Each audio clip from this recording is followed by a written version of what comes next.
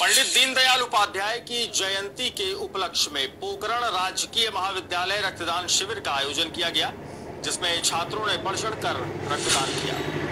रक्तदान शिविर पोकरण के चिकित्सा अधिकारी डॉक्टर अनिल गुप्ता की देखरेख में जैसलमेर से जवाहर चिकित्सालय से आई टीम ने रक्तदान संपन्न करवाया।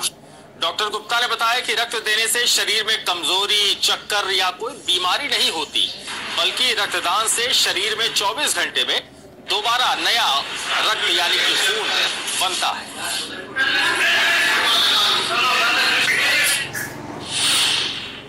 राजस्थान के